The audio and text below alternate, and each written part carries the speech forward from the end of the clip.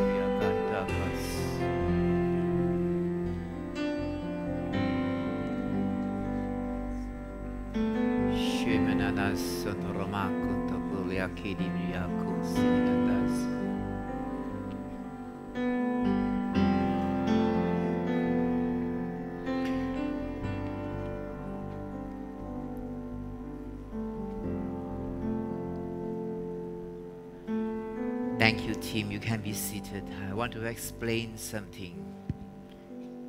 What the Lord is showing me.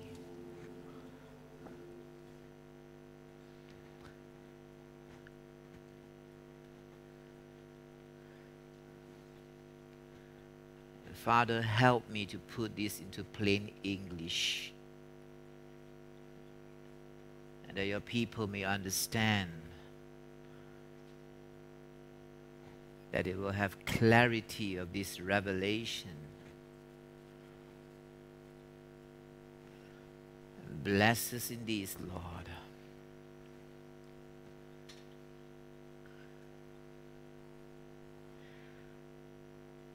Every time the Lord show me something, I ask the Lord for a word in the scriptures to confirm what He is saying. It's not my imagination, but it is His word. Because every time the Lord gives us visions or the Lord speaks to us, there is the word that will confirm it. Matthew chapter 13. I'm going to give you a lot of scriptures today by the grace of God. Matthew chapter 13, verse 24 onwards. Let's go there quickly. Let me read to you first so that you can understand what I'm going to share to you. Matthew chapter 13 and verse 24 onwards. And I'm going to read to you.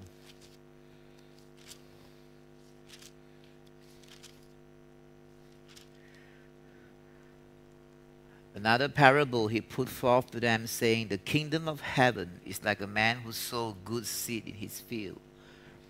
Now, very quickly, in the New Testament, Jesus spoke about 40 parables, and all these 40 parables speaks about the kingdom of God. There are 40 parables in the New Testament. All of them pertains to the kingdom of God. And that's why the church today is about the kingdom. It's about the king. So he says that there is a kingdom, the parable here is the kingdom of heaven is like a man who sowed good seed in his field. But while man slept, his enemy came and sowed tares among the wheat and went his way. But when the grain had sprouted and produced a crop, then the tares also appeared. And so the servants of the owner came and said to him, Sir, did you not sow good seed in your field? How then does it have tares? And he said to them, An enemy has done this. The servants said to him, Do you want us then to go and gather them up? But he said, No, lest while you gather up the tares, you also uproot the wheat with them. Let both grow together until the harvest, and at the time of harvest I will say to the reapers, First gather together the tares and bind them in bundles to burn them, but gather the wheat into my barn. This was what I saw in the spirit just now. Remember, I spoken about the 12 category of things which must happen before Jesus comes back again in our Elijah Academy. And the Lord showed me this, and I told you in those teachings that one of the things which must happen is the abound of lawlessness, the abound of evil, the abound of all kinds of perversion and distortion of law and nature. And you can see that today all over the world. Same sex marriage is one of them.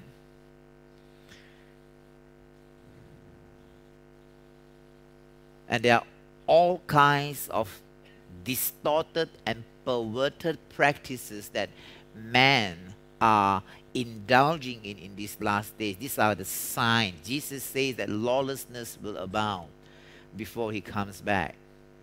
Now, just now in the vision, I saw, and I pray that you understand this.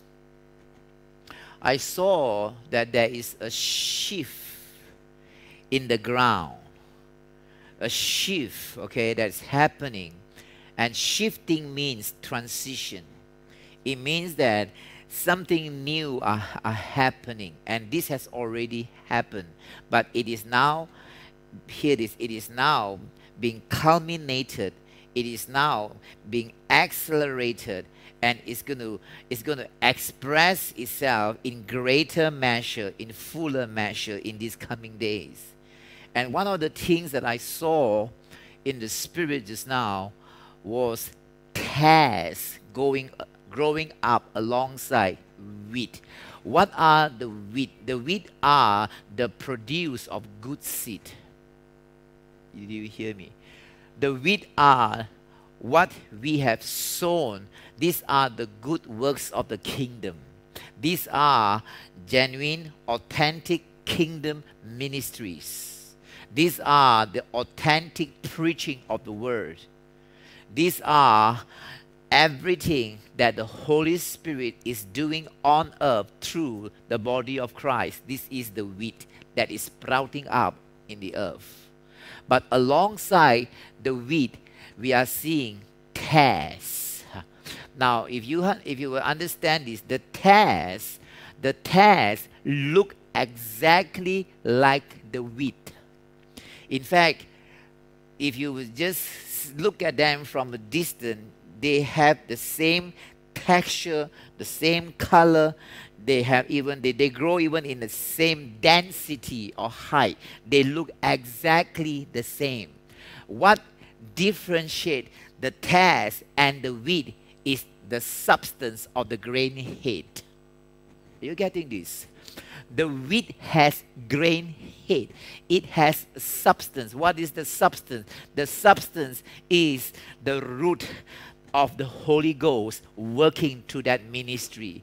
The substance is the substance of the person of Jesus Christ in that kingdom ministry, in the preaching of the word, in the fruits that are sprouting up, that Jesus is the source of that.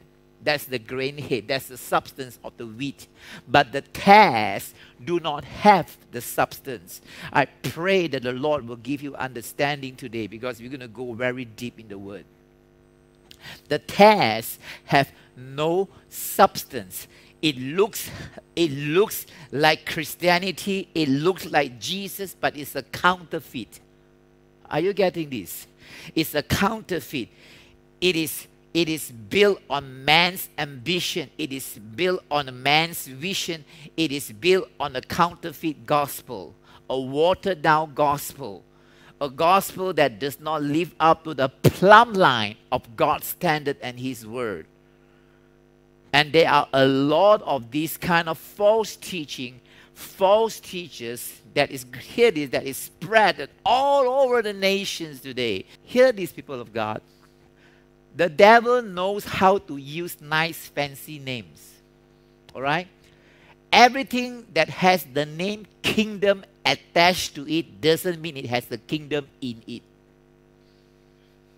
Don't be deceived. Oh, this one kingdom, that one kingdom. Make sure the kingdom is there. All right? Not everything that has a kingdom attached to it has the kingdom in it. All right?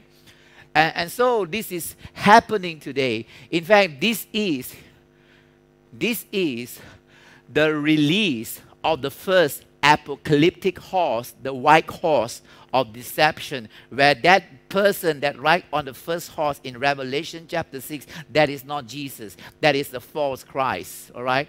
And what was he shooting? He has a bow and arrow too, remember? Revelation chapter 6, the first horse, the white horse, okay? That is not Christ, all right? These are apocalyptic horses of destruction, catastrophes, and deceptions, okay? Now, the first horse, we are seeing that happening now all over the world all over the nations, especially in what we call Christendom, the body of Christ. I saw just now tares growing alongside, and they are so closely knitted to the wheat. The deception are so closely intertwined with the authentic that when the reaper says, Should we pull out? Should we pull out the test And the Lord here, or the master of the field here, say, You cannot pull it out. You may even destroy what is, what is genuine, what is authentic. It means that they are so closely knitted, they have, in a way, infiltrated the body of Christ today. John MacArthur, the one who wrote one of, he, he was one of the, the editors of the uh, MacArthur, John MacArthur Leadership Bible. John MacArthur wrote a beautiful book called Snakes in the Pulpit.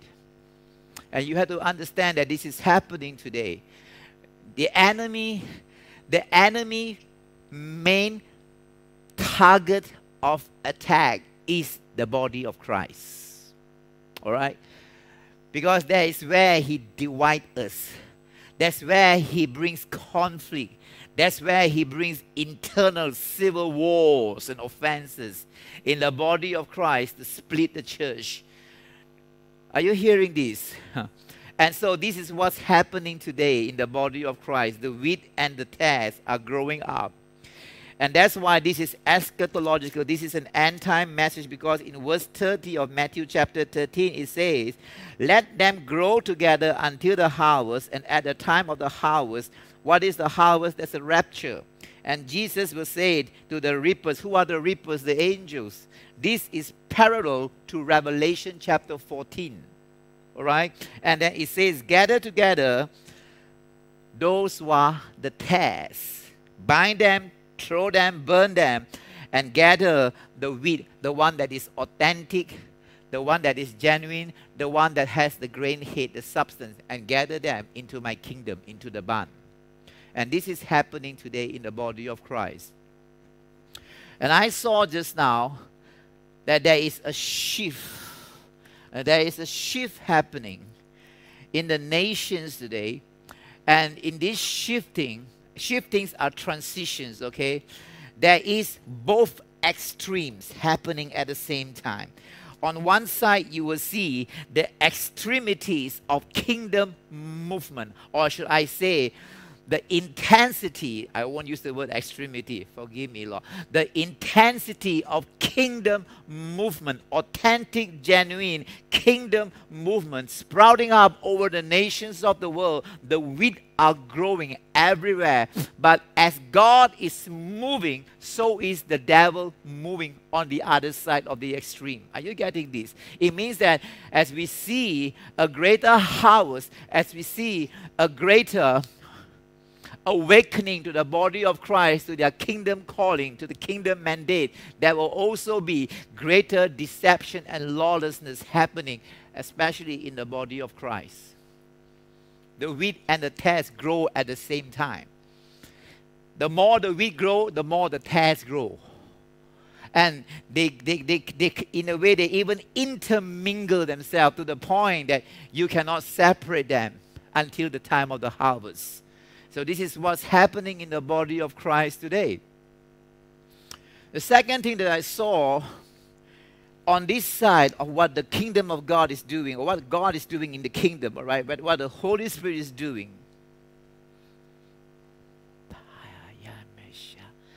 Give me one minute, a word is coming.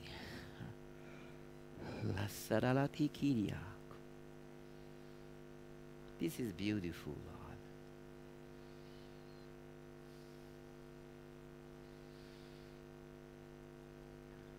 I love it when the Lord interrupt me.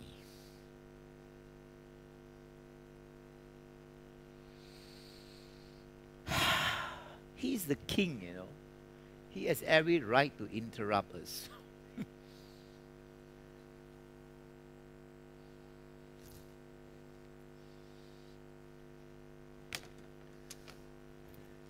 he, lo- he knows that I love fancy words. He just said,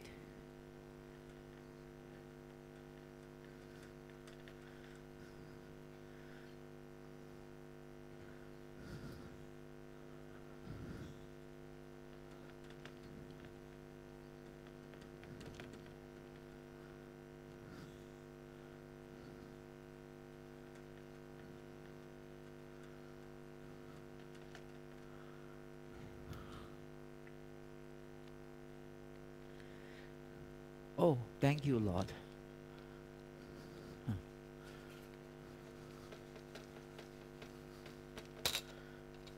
I'll come back to what I'm saying just now, but let, let God be God and let Him say what He wants to say first.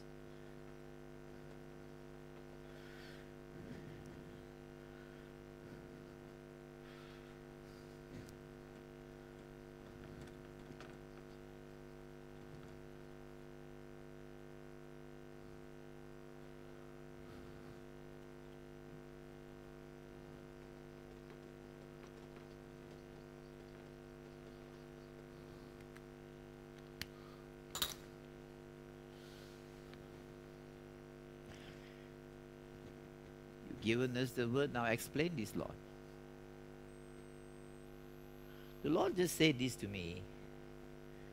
And this is this is to bless your heart. What we are doing is we are cultivating moments. You know that song? In moments like this, ah, we are cultivating moments with the Lord, moments in His presence, moments with the Holy Spirit, a moment in His heartbeat, hearing His heartbeat, hearing His heart, His voice, His purpose, His will for you and I, for Malaysia, for the nations, for His kingdom purpose. This is what I call moments. And what we are doing is going to gain momentum. Moments when you, oh Lord, help me the words here. When you pursue those moments or when you inject your time, your energy, your passion, and your purpose into those moments, those moments starts to gain momentum. All right? And momentum will accumulate, and in that momentum, it becomes a message. What is that message? The message is always about the king and his kingdom. Acts chapter 1, I believe, is in verse 3. Just as it is in the book of Acts, so shall it be in these last days before the Lord come back for his church. Oh, Mashedoromonsa. Yes, verse 3. Acts chapter 1, verse 3. To whom he also presented himself alive after his suffering by many infallible proofs, being seen by them during 40 days, and speaking of the things pertaining to the kingdom of God. See the word there? Before Jesus ascended, after his resurrection, he was walking the earth for 40 days. The Bible recorded five instances where he appeared to his followers, all right? It could be more than five, but five was stated in the word. And in those 40 days, Jesus was teaching them. What was he teaching? The kingdom of God. He was talking about things pertaining to the kingdom of God. So shall it be in these days before Jesus come back again for his church. The church will again rise up to a kingdom identity and a kingdom mandate and the church, the body of Christ have to be talking about the kingdom and the kingdom is always about the king and his domain and his administration and his agendas and his priorities.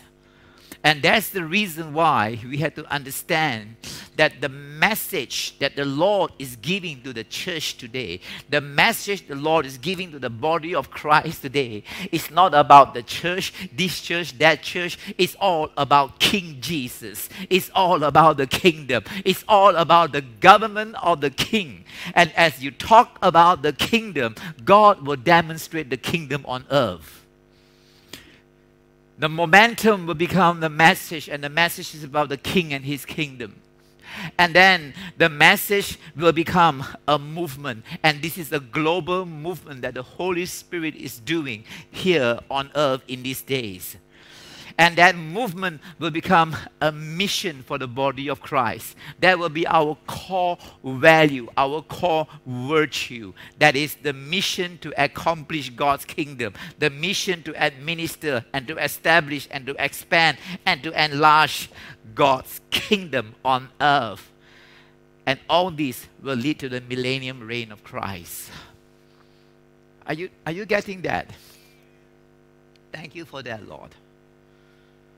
And so that was what I was saying earlier on that these wheat are growing up. The kingdom agenda of God is expanding, enlarging, and establishing itself in many places in the nations of the world today. And this is the last day move of the Holy Spirit and Christians and churches needs to have their eyes awakened, needs to have the eyes of their heart open to understand. That's the reason why in that day, when Jesus says the parable about the ten virgins, when he come back, there will be a part of the body of Christ that have the oil burning in their lampstand. Oh, that is a kingdom mandate because they are looking, they are waiting, they are pursuing, and they are anticipating the king and his kingdom, and they are burning with oil in their lampstands. But there's also a portion of the body of Christ that does not have that vision, and therefore there's no fire in the lamp. Are you hearing all this? So, people of God, we are in that time. Another word is coming. Psalms 145, verse 11, verse 12.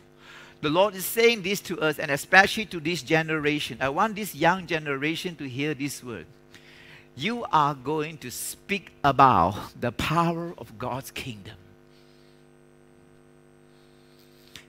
They shall speak of the glory of what? The kingdom. The glory of your kingdom. They will talk of his power, this young generation. They will talk of His power. And you cannot talk of God's power unless you experience that power and that power become your testimony. Hello. The, the messenger must become the message. And the message becomes the messenger. Otherwise, there is no power in the message. So if you're going to talk about the glory, you're going to talk about the power, it means you're going to experience the glory and the power of God's kingdom. And verse 12 tells us this. Oh, I like this one. And you will make known to the sons of man his mighty acts. Mighty acts means what? God's demonstration, God's powerful administration and action in the nations. You will talk about it. And you will talk about the glorious majesty of what? His kingdom. You see that?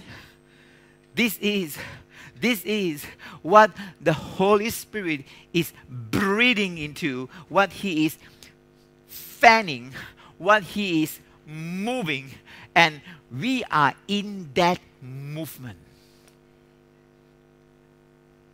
Are you guys alive? We are in that movement because in moments like this, these moments that we are having are gaining momentum. They are gaining momentum. Every time when there are two or three who gather, hear this when there are two or three who gather,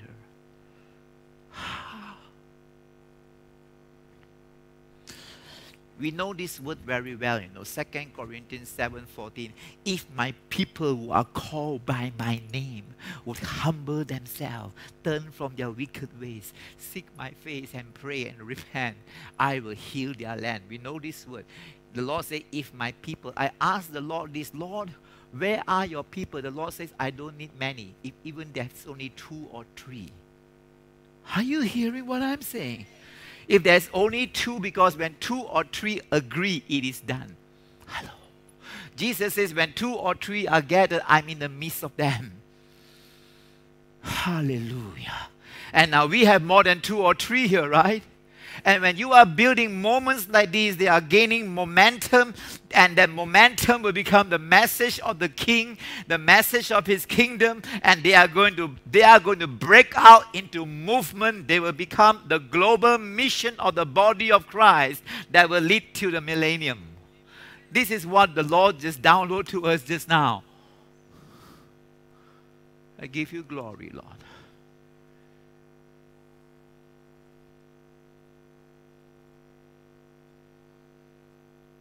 I give you glory.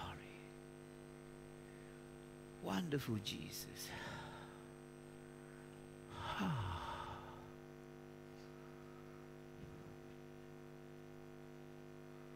Second Peter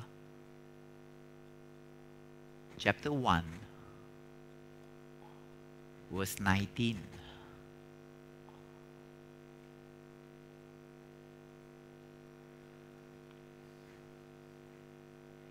you have the prophetic word. The Lord is saying to you, these words will be confirmed. And He say, You do well. You do well. If you heed, receive, and pray, and walk, and run with the prophetic word, you do well.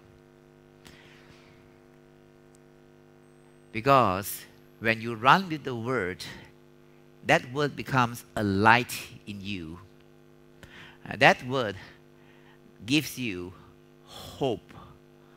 That word gives you anticipation and expectation.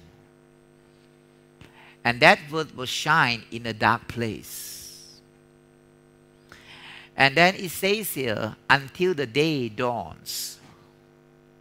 So, before dawn, there is always a period of darkness. Are you getting this?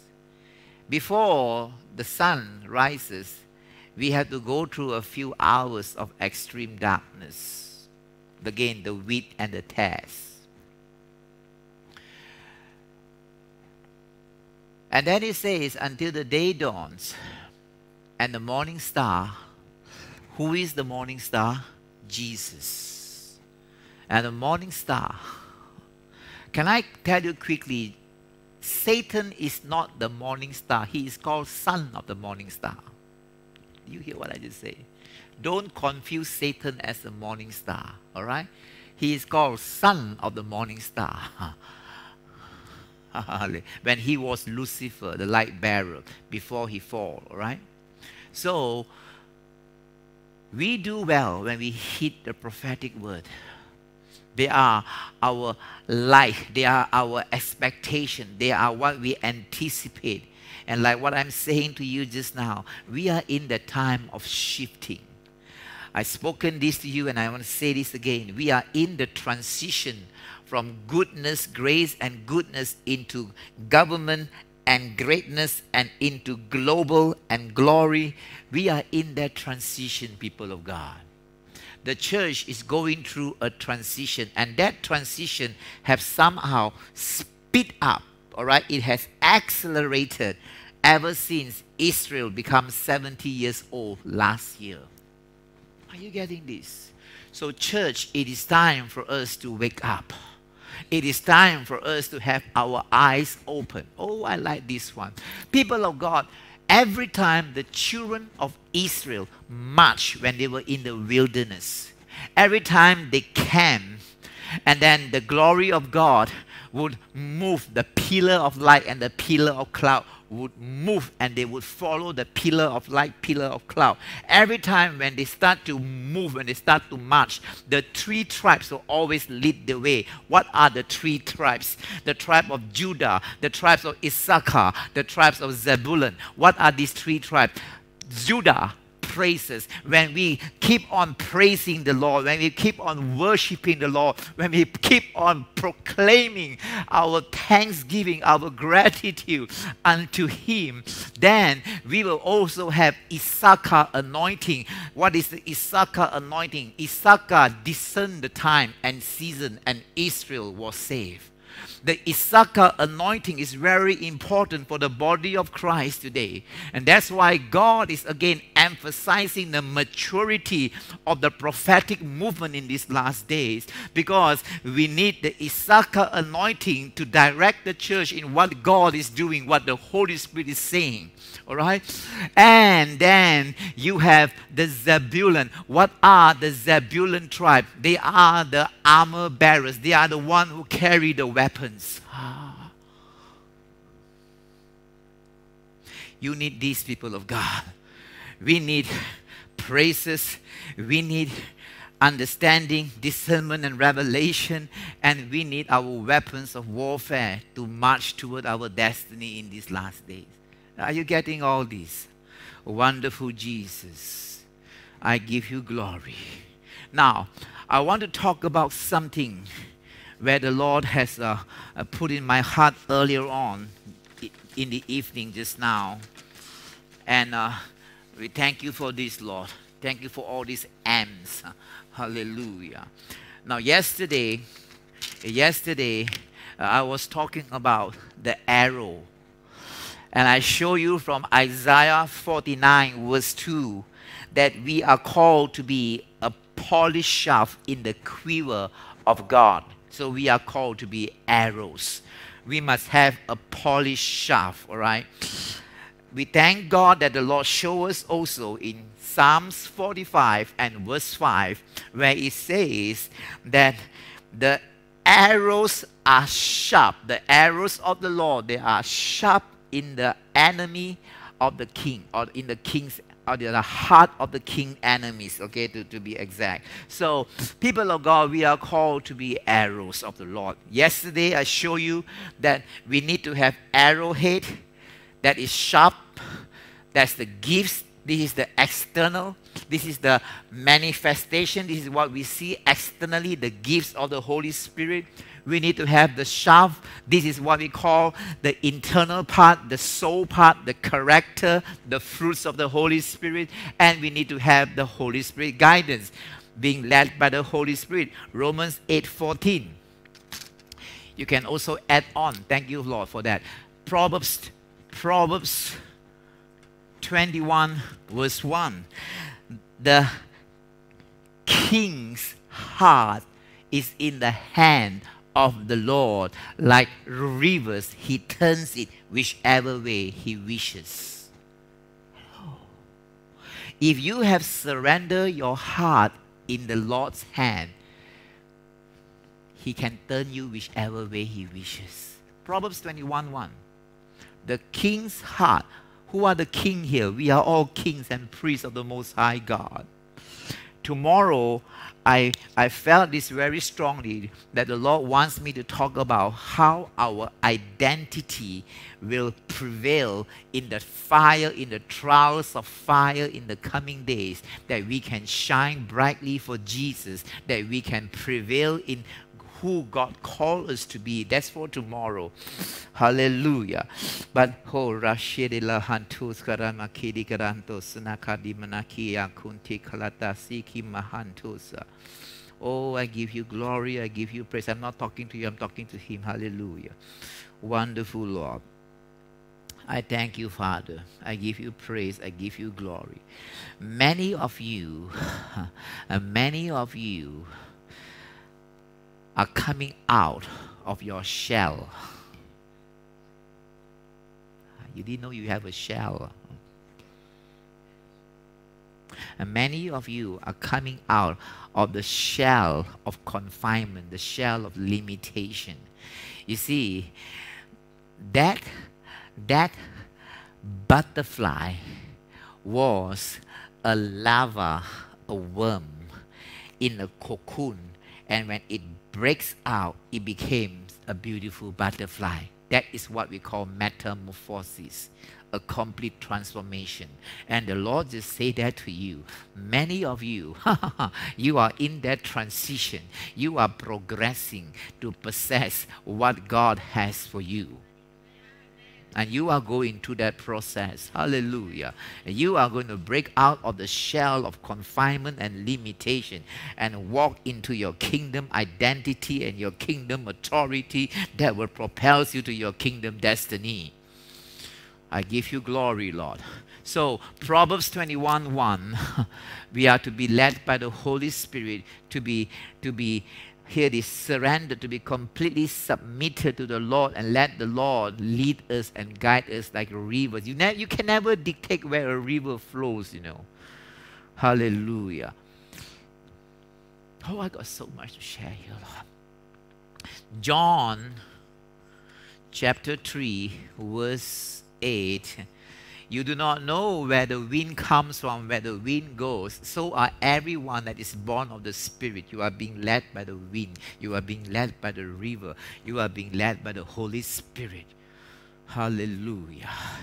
And this is your character. This is also Ephesians uh, chapter 5 and verse 9, where it says, This is the fruit of the Spirit, this is righteousness, this is your truth this is, this is the fruit of goodness. Hallelujah. Wonderful Jesus. Korashanta Rabata Kihansa. This is Psalms, uh, Psalms uh, 45 and verse 3, where it speaks about truth, humility, and righteousness. This is all about the character. I told you that you cannot have crooked shaft, right? If you have a crooked shaft, people of God, if you have a crooked shaft, that arrow cannot hit the mark. So we must have good character. We must have a good character to bear the weight of the gifts because the gifts are heavy, they are glorious, they are kabod gifts of God. Hallelujah. So you must have a shaft that is straight and you must have a sharp arrowhead which speaks about the gifts of the Holy Spirit. Yesterday I talked to you about what is the purpose of the arrow. Number one, in the context, you are the arrows in the hands of the Lord. Second thing, your arrows are also your weapons of warfare. Your arrows, hear this, can reach where the sword cannot reach. Sword is for daily battles against all kinds of challenges, giants that you face, resistance, oppression, whatever demonic attack. You use the sword of the Spirit, the word and prayer. That's your sword. Arrows are to pull down demonic strongholds in the second heavens because arrows can reach where your sword cannot reach. Can I show you the word? Second Kings chapter 13. Everything that the Lord says to us, the word confirms it. Amen. This is the word of God. This is not my word. Second Kings. And let me go there. Chapter 13. And let's see here, people of God. Oh, this is beautiful.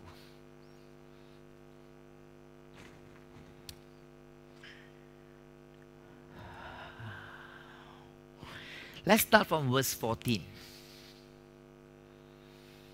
I, I, want to expound this passage for your understanding to bless you because you are so good and you all look so serious. Hallelujah. Second Kings 13, verse 14. Elisha had become sick with the illness of which he would die. Sometimes, people of God, please understand this.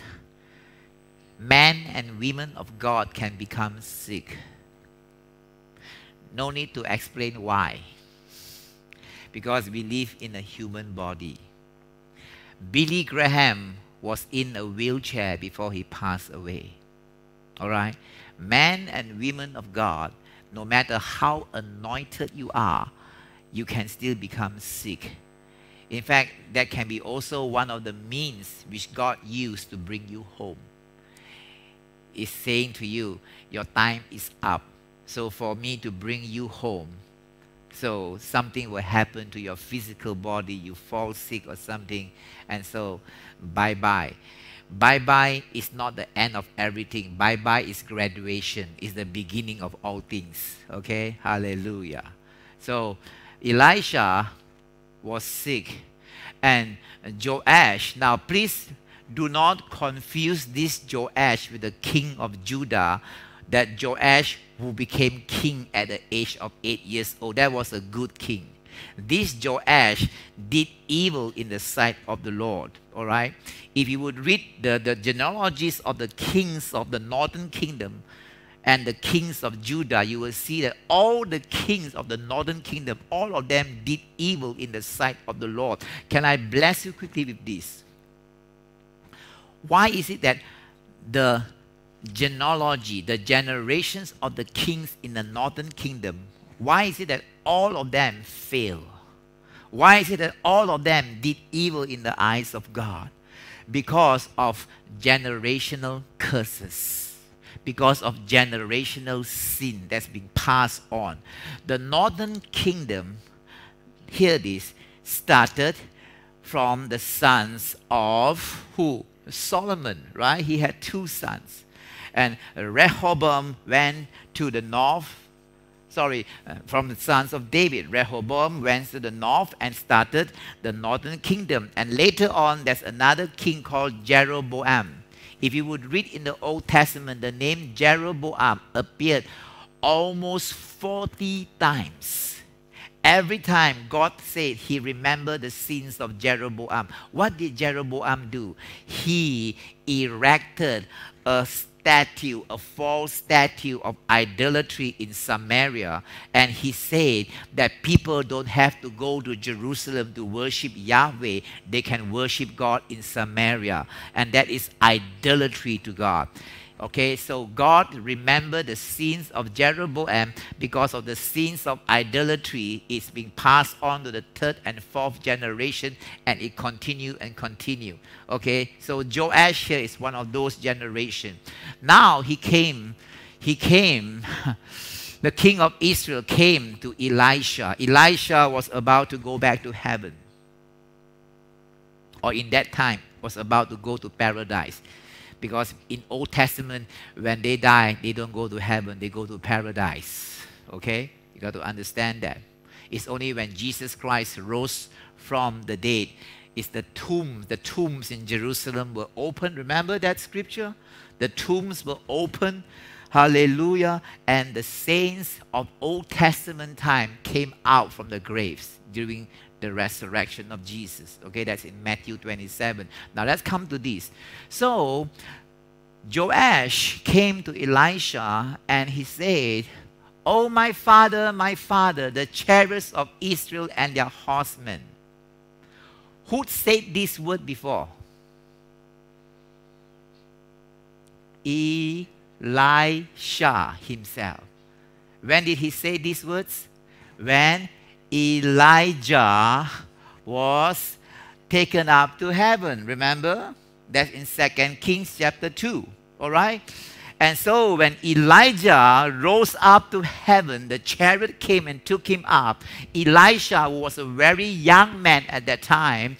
He saw Elijah going up in the chariot, and what did he say? My father, my father, the chariots of Israel and their horsemen. Now, some historians and also a very profound, a prominent Jewish rabbi said this. He said that this is a term, my father, my father, and then he said the chariots of Israel. He said that this is a military term that is used to describe the highest commander in the Israelite army.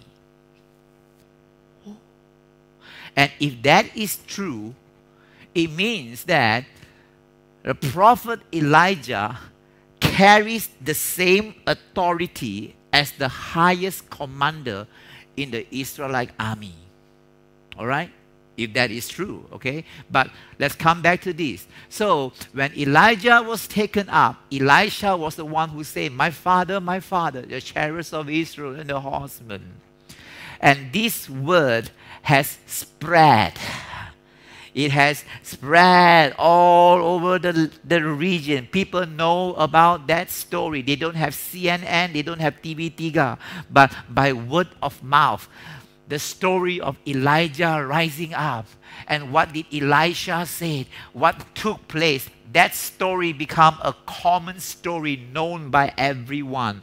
And that's why even the king knew that.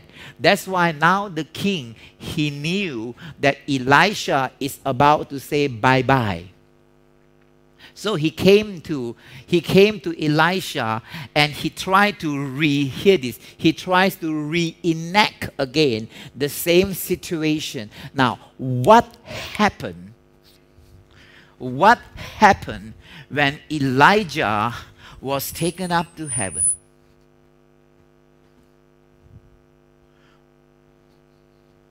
What happened when Elijah was taken up to heaven?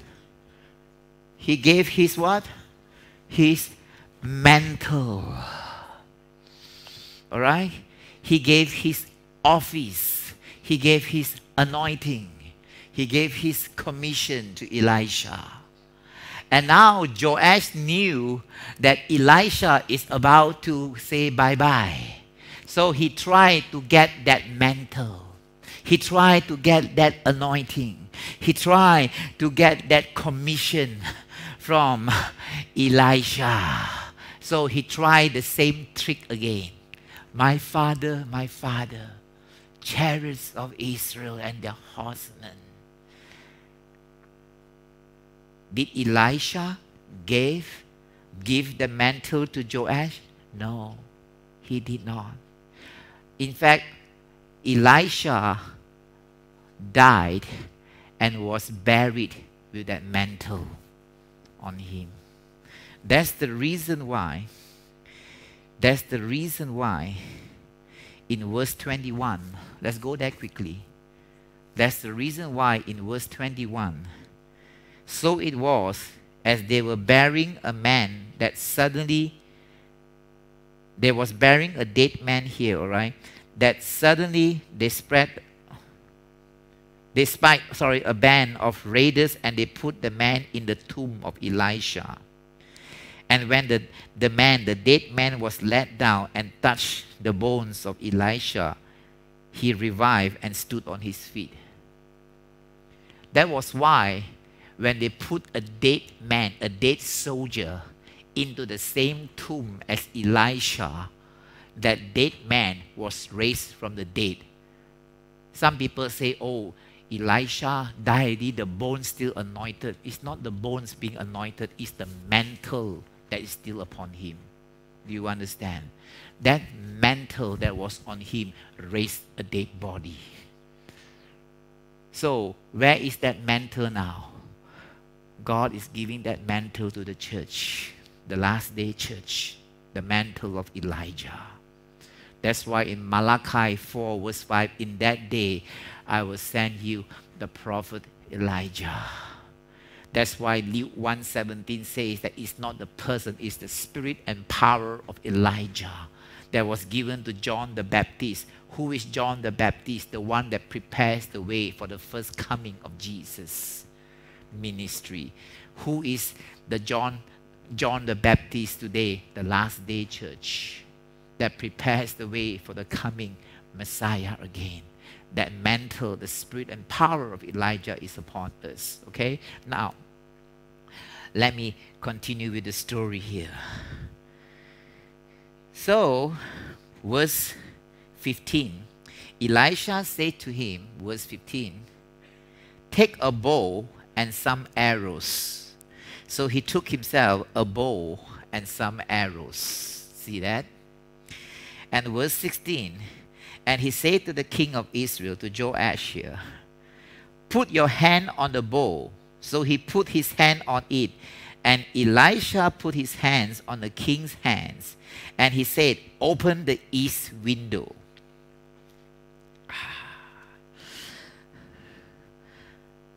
I heard a commentary who said the reason why it is the east window is because God is shooting down all the strongholds in all the eastern nation and the eastern nation will have revival. Don't amen first. There is no basis for that commentary, all right?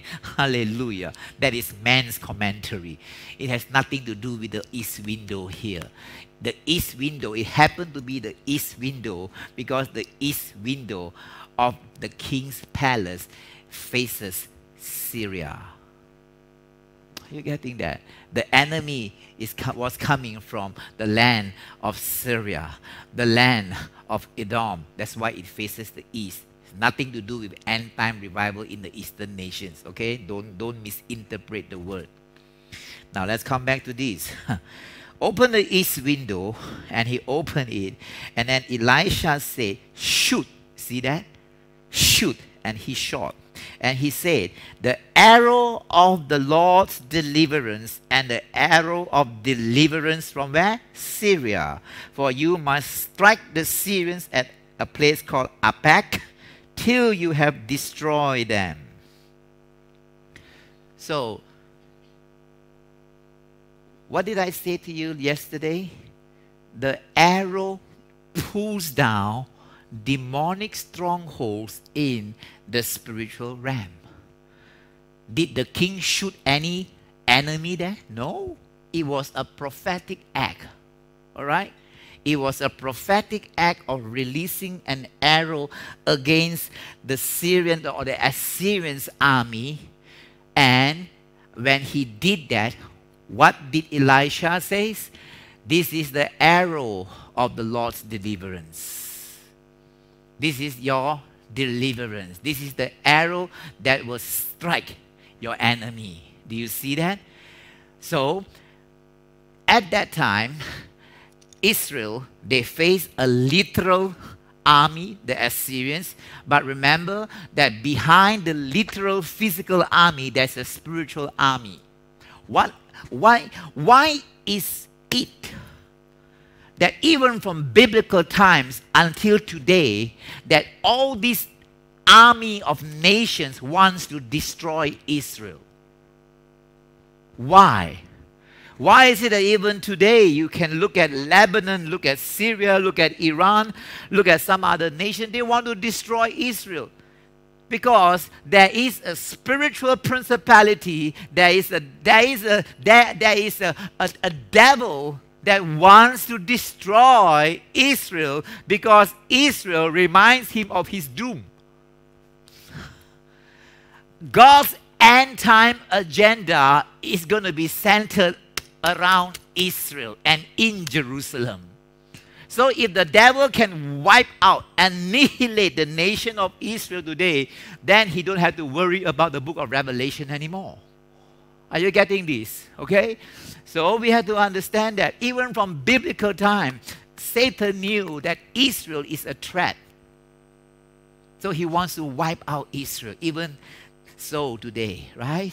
Now, that arrow was being released. It flies out from the eastern window. Perhaps it flies about 200 yards, 300 yards in the air, and then it went down and it hit somebody's mango tree. It didn't hit anyone at all, right? But what, what did Elisha say? That is the Lord's deliverance. So, people of God, do not be ignorant about prophetic acts. When the Holy Spirit stirs you to do prophetic acts, they are powerful.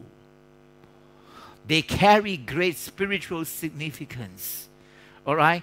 But make sure you are being what? Led by the Spirit. Hallelujah. If it is man's spirit, you can do all kinds of act. You end up in Hollywood. Hallelujah. Praise God. Wonderful Jesus. Now, after this, in verse 18, and now he said again,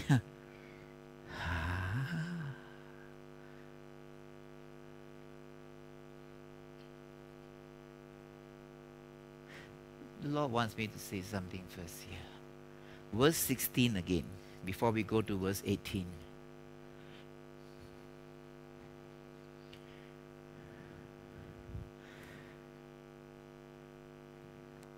Put your hand on the bowl King Joash. And then after that, Elisha, Elisha, oh dear Lord, hallelujah. Samuel, quickly come.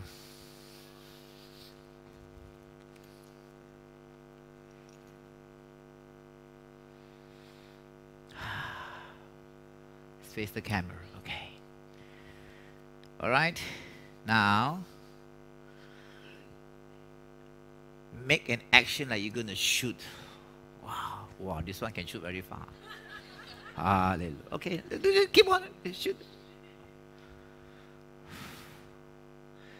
That's King Joash, right? Now, old man Elisha comes and he put his hands on the king's hands.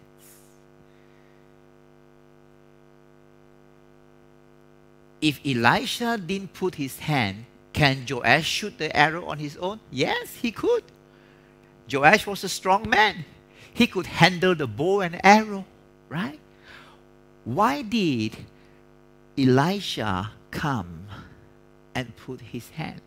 They are not doing target practice, you know. That arrow just released out the window only. Anywhere can shoot anywhere, doesn't matter. It's not about where it's going to hit, it's about the act, all right? So why did Elisha come and put his hand? The anointing. All right?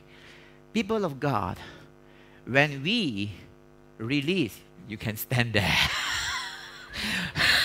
All right, you can go back, brother.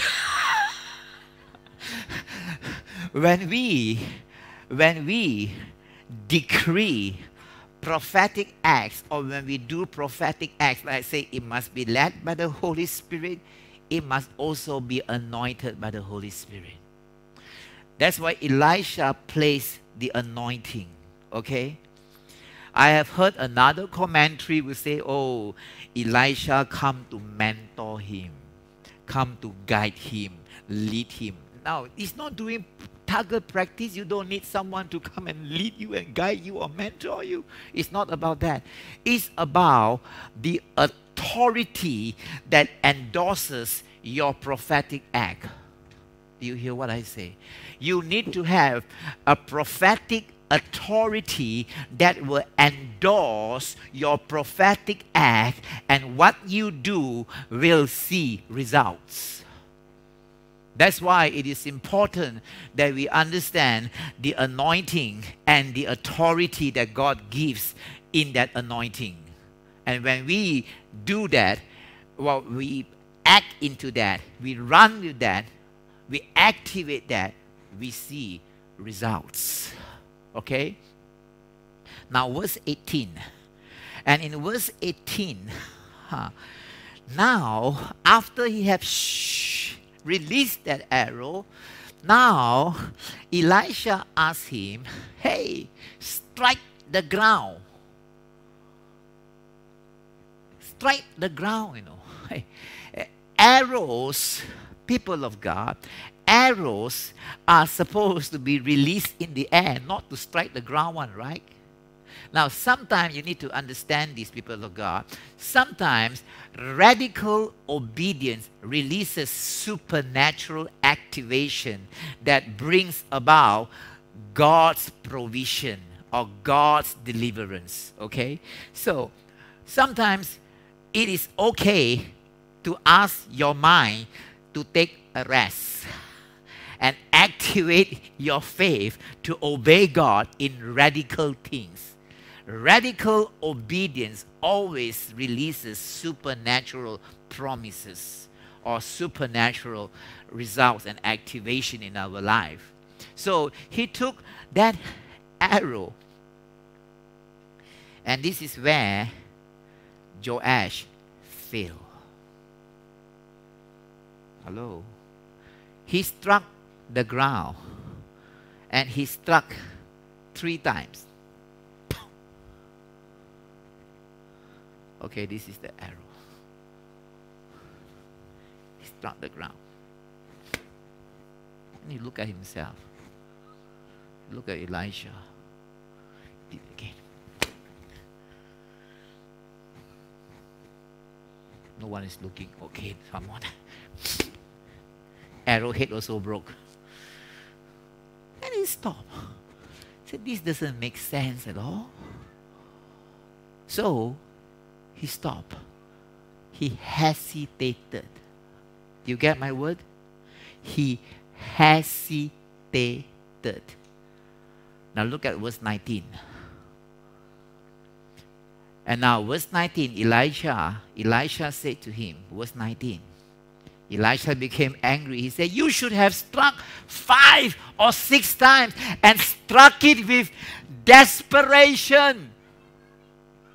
Oh, yeah. Struck it with desperation, then you would have struck Syria till you have destroyed it. But now you only strike Syria only three times. What do we learn from this principle? People of God, you want to see prophetic fulfillment, you want to see God's promises in your life, you want to see result, you want to see the supernatural, you want to see miracles. Lesson number one be desperate. If you do something, hesitate, don't make sense. Pray one month, no result. Pray two months, no result. Pastor say fast 33 days, 33 days, no result. Then you give up.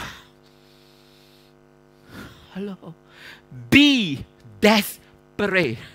How much do you want to see the promises of God in your life? that will show in your action. You would have struck the ground five times, six times, seven times. You would have struck until that arrow was broken. You would want to see result. You would have the hunger. You would have the desperation and the passion, and you would have the zeal. All these Joash lack. Do you know? Now you know if he would have struck that ground continuously again and again, if he had shown his desperation, if he had shown his zeal, his passion, that day Elisha would have given him the mantle. Oh. That day Elisha would have given him because he's now he say, I found a king that is passionate, a king that is hungry, that is, de- that is des- desperate, that's zealous to see God's fulfillment, God's promises. Now you can steward that mantle. But Joash failed. And we thank God that he failed. Because that mantle awaits you and I today. It is for the church today. Hallelujah. So, people of God, another lesson that we learn here is what? Prophetic acts. when it is endorsed with spiritual authority under the anointing of the Holy Spirit, it carries great and significant results. And be desperate to see that. Be desperate, be zealous about what you are praying for. Keep on pushing, keep on pressing, keep on pursuing, and you're going to see His promises in your life. So, for you and I to function in the gifts, to be effective in the gift, to be an effective arrowhead, or to use the arrows of prophetic because arrows are prophetic declaration, okay, that pulls down strongholds in the spiritual realm. For you and I to be effective in this, we must be desperate. We must be zealous. We must be passionate. We must be hungry. We must be a people that keep on pursuing, keep on pressing, keep on seeking, keep on knocking. It's okay even if you knock down the door of heaven, He wouldn't mind. In fact, He wants you to knock down His door.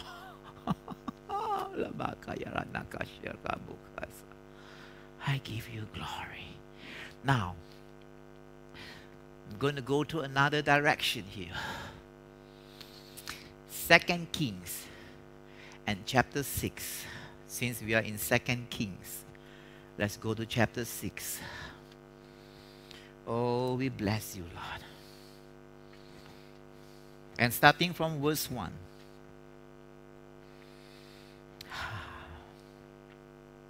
And the sons of the prophet says to Elisha, See now, the place where we dwell with you is too small for us. Please let us go to the Jordan, and let every man take a beam from there, and let us make there a place where we may dwell. So he answered, Go, oh Lord. Ha ha ha. You see the joy and the beauty of ministering in the Word of God under the illumination of the Holy Spirit? Because the moment I spoke this, He gave me another revelation. All glory to you, Lord. Verse 1. How are we going to finish this tonight, Lord? Verse 1. You know, people of God, I cannot understand. I cannot understand. Now, there's nothing wrong with that, but I cannot understand how people can read the Bible in one year. You know, you have the one year Bible reading plan, you know. Or so this day you cover this chapter, this book. One year you finish all 66 books. I cannot understand that. No doubt I have read the Bible from cover to cover 20 over times. All glory to God. But I cannot understand how you can do that in one year. Because when I go into a chapter, sometimes that chapter takes me three hours. Why? That's revelation. There's so much revelation in the Word of God. Even verse 1 itself, there's revelation. The sons of prophet came to Elisha and said, See now, the place where we dwell with us is too small. What is the revelation here? Your prophetic gift will always outgrow you. You didn't hear me. Let me try on this side. Your prophetic gifts will always outgrow you. Hey, the gifts of the Holy Ghost cannot be confined in a small little confinement. It always outgrows the confinement. It always outgrows the boundary. That's why the sons of the prophets now they came to Elisha and they say, "See, we we cannot we cannot remain here. Our gifting is outgrowing us. We are hear this. We are going beyond our boundaries. There is so much more that God has for us. We need to have bigger, larger, wider boundaries. I'm talking about the spiritual. Of course, here in the context, it's talk about the physical. All right? Hallelujah. Oh Lord. What do I mean by this? When you are when you are empowered by the Lord, anointed by the Lord, and you walk you walk in close relationship with the Holy Spirit, your fears of authority, your scope of influences grows.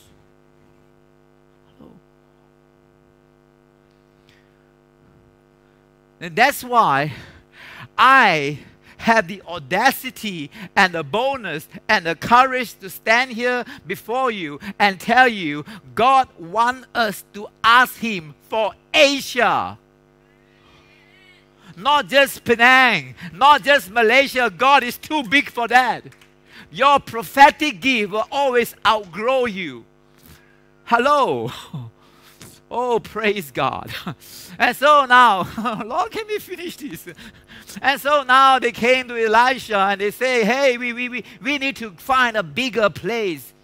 We need, we need to grow in alignment, in accordance to our call and to our gift and to the anointing that is increasing in our life.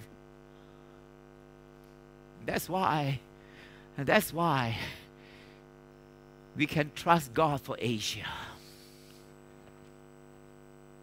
And so after that, in verse 2, He said, Please let us go to Jordan. let every man take a beam from there and let us make that a place where we may dwell. And so he answered, He said, Go. Hallelujah.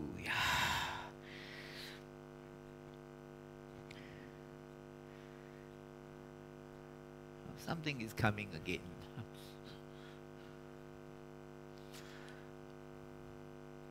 If you would read where the sons of this prophet, there's a school of prophets in those days.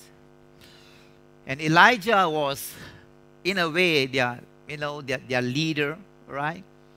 When Elijah was taken up, the mantle was passed to Elisha. So Elisha, in a way, became the, the leader of these prophets, okay? And you will see that these prophets, they, they will build their dwelling in a place called Bethel and now they build a place in Jordan. Why is it that they only choose certain places to build their dwelling? Or in Jericho as well. There's another one in Jericho. Why? Because these are places that has open heavens, portals. Because hundreds of years prior to this, they know the story, they know the history. At Bethel, who had an experience there? Jacob. Right? At Jericho, who had the experience there? The children of Israel. They came and there was an open heaven. The walls came down. Hello. So, people of God, the prophets, they knew that for them to receive constant, continuous revelation from God, they need to be in a place where there is an open heaven. All right? They don't simply go and build their dwelling in the place, they build their place in open heavens. Oh, Lord. Now, let's come back to this. And so, hallelujah. Verse 4 And he went with them, and when they came to the Jordan, they cut down trees. But as one was cutting down a tree, the iron axe head fell into the water, and he cried out and said, Alas, master, for it was borrowed. And so verse 6, so the man of God say, where did it fall? And he showed him the place. So he cut off a stick, threw it in there, and he made the iron flow. Wow. And therefore he said, pick it up for yourself. So he reached out his hand and took it. Are you ready? Remember, I told you some time ago, not too long ago, what I've been carrying in my spirit for nine years when I had my encounter with an angel on top of the mountain about end time revival. And I've been carrying that in my womb for nine years, all right? And I told you that these are the end time gifts that God is giving to the body of Christ. What are the gifts again? A flaming torch. One day I will talk about this again. The flaming torch, the sword, the flaming sword, all right? The, the, the banner, the banner of the Lord, the sickle of harvest, the trumpet heralding the king, all right? And then there is the water pitcher, remember? And then there is what? Battle axe, remember? Battle axe. What is the battle axe for? Matthew chapter 3, verse 10. John the Baptist used the axe spiritually in a spiritual context. He used the axe to cut down the roots of Judaism to prepare the way of the coming Jesus. See, the axe is laid to the root of the trees. What trees is we are we talking here? The trees of Judaism. He was confronting the Pharisees and the Sadducees and the Zealots at that time. All right? So he put the axe to the root of the trees and then he said every tree which does not bear good fruit is cut down and thrown into the fire it's talking about cutting down the thick forest of religiosity in these last days. That's why God is giving us the battle axe. The battle axe is to cut down all those trees that does not bear fruits of relationship with the Holy Spirit. Are you hearing me? It's to cut down the trees of religiosity, the trees that oppose, the trees that resist the movement of the Lord, the trees of humanity of secularism, not humanity, of humanism and secularism. Okay? We don't cut down man, we cut down the spirit. Hmm. Oh Lord, you didn't hear what I say. Thank you, Jesus. And now let's come back to this. This is the gift, the battle axe. So, Second Kings chapter 6 again. Look what it says here in verse 5. As one was cutting down a tree, the iron axe head fell into the water. And then he cried out, Master, my iron axe head fell into the water and it was borrowed.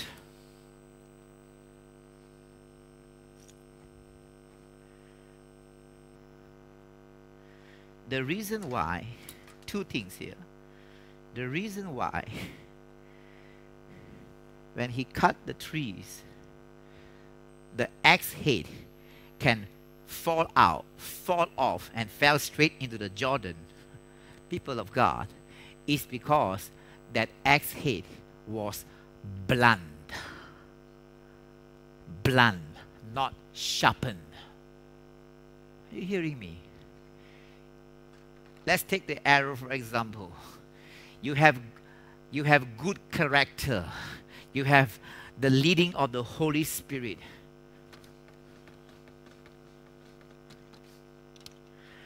But your arrowhead is like this. Blunt.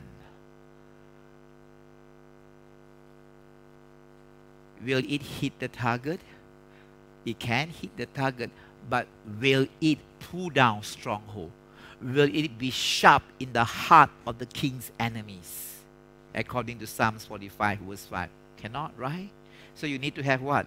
Sharpen arrowhead, the gifts. Your battle axe needs to be sharpened. If it is not sharpened and you cut trees, of course, the whole axe head will fall off. That's the first thing. Second thing, the reason why it was not sharpened because it was not your own gift. You didn't hear me. It was borrowed. Never borrowed people's gift. God has authentic gifts for you. Ah. Never borrow people's anointing. Yes, in the ministry, in the body of Christ, the anointing can bless us, all right? The gift that another brother and another sister can minister to us, they can bless us. But for you to operate in your call, in your give, in your anointing, God wants you to be an original.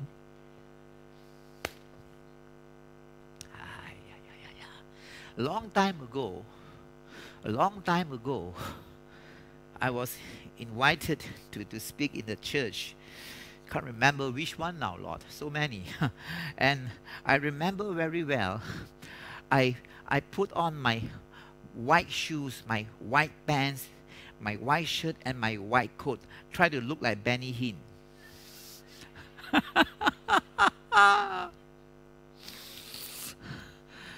Before I went out from my door of my house, before I left my house at the door, the Holy Spirit spoke to me and said, Go and change your clothes.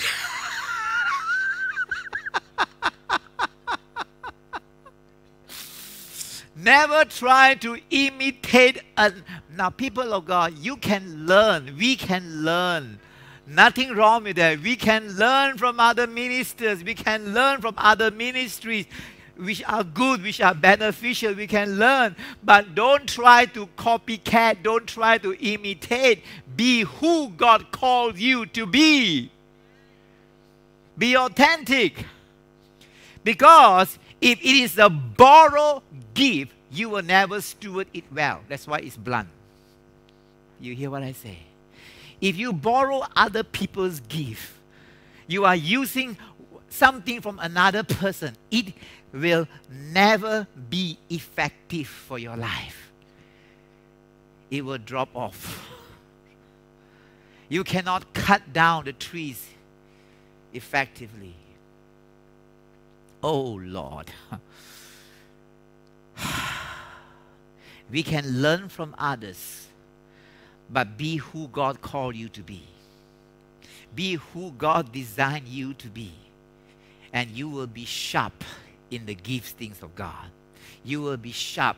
Remember, the anointing, the anointing can increase and can decrease. And the increment and the decrement of the anointing is based on your surrendered life before Jesus. The oh you got to hear this. The greater the sacrifice or the surrender, the greater the anointing. It's a price that we paid, all right? So walk in your own anointing. God wants to anoint the church today. God wants to anoint the body of Christ for kingdom ministries in these last days. And yes, we can rub shoulders, we can be blessed, we can be anointed by other ministers. There's nothing wrong. God wants that for us. But grow in your own anointing, grow in your own gift, sharpen your gift, sharpen your battle axe, sharpen your arrowheads.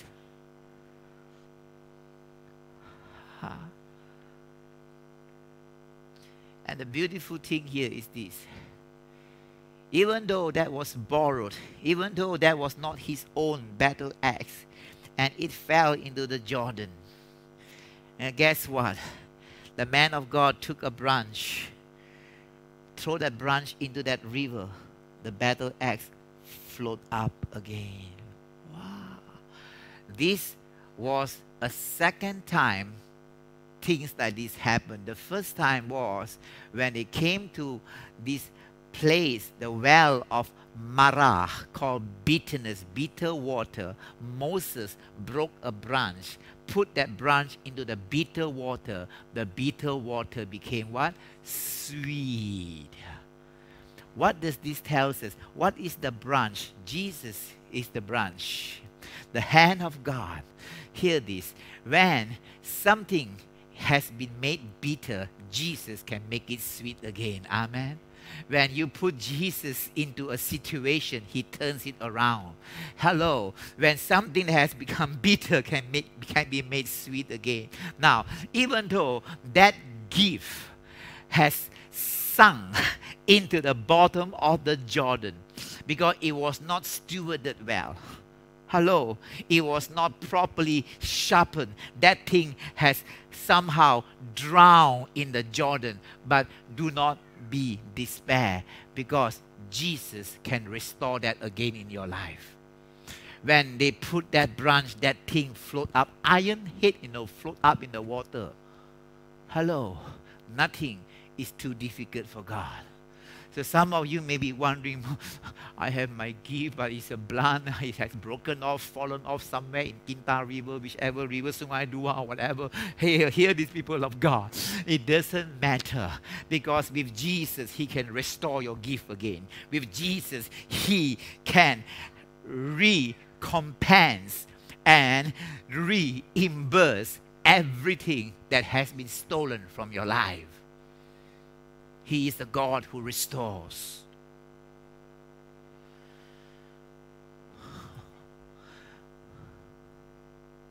I heard the Lord says this.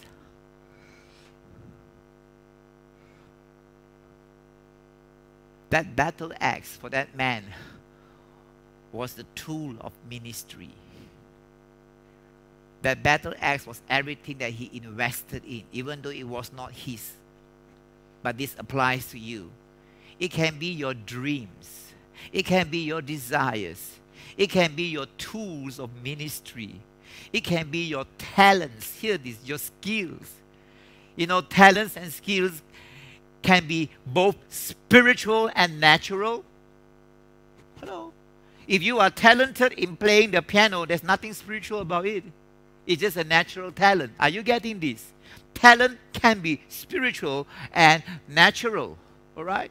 There are, there are gifts that God gives to us in the spirit, gifts that God gives to us in the natural. You are born talented. Some other day you will preach, not now, okay? Hallelujah. Oh Lord. I heard the Lord say this. If you have a talent, a skill, a gift, a dream, a desire that has broken off, that has got disconnected from you, and has fallen off into somewhere, sunk deep into some river somewhere.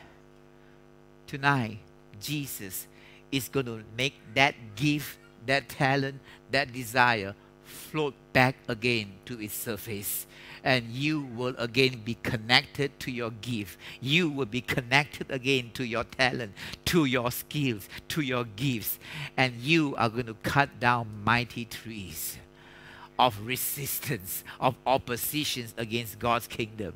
You are going to become his battle axe again because this is one of the gifts that God is giving to the body of Christ. I give you glory. Father, even right now, tonight, Lord, we ask of you, whatever that has been lost, whatever that has been drowned in the rivers of despair and hopelessness, today, Father, whatever gifts, whatever, whatever skill that you have bestowed upon your people that has been lost, today by the power of the name that's above every other name. Lord, we put that name of Jesus into that river. We put the name of Jesus into that pool of despair and hopelessness. And we decree, let it surface right now. Let it come up again. Let the gifts, let the battle axe come up again. Let the gifts of the Holy Ghost arise in you again. Oh, Mahanda. Oh, Dadadina Handa Yakunti Kinalanika. Second Timothy, and I'll close with this. Second Timothy and chapter 1 and verse 6 and the word of God says stir up the anointing. Stir up the gift that is in you to the laying of hands. And and then here again people of God remember this. Stir up the gift. Stir up the gift. You have the gift that has somehow been drowned in the rivers of despair and hopelessness. Stir it up again. Stir it up again stir it up again. It's going to come back again. Oh, and not only that it will come back, it will be restored to you double what the cankerworm has eaten, what the devil has stolen, everything that has been lost. It's, it's going to be restored double and triple in the name of Jesus. Father, connect us again to our gifts, to our battle hits, the axe hits, Lord, the hits of the arrows. Connect us again, Lord, to the gifts of the supernatural. Connect us again, O Lord, because you said in Psalms 145 in verse 11 that we're going to talk about your glory. We're going to talk about your power. We're going to talk about your mighty acts, O Lord. And how can we talk about it unless we first experience it? Make that a testimony for your end time church, O Lord. And bless your children in this. Bless them, Lord to sharpen their gifts. Bless them to steward their gifts. Bless them to grow in their gifts, that they will become authentic and original. Bless them, O oh Lord, in the restoration of the gifts and the outpouring of more gifts that you are giving to your body, the church. Bless them in this, Father. We give you praise, we give you glory. In Jesus' precious name. Amen and amen and amen. Give him glory. Hallelujah.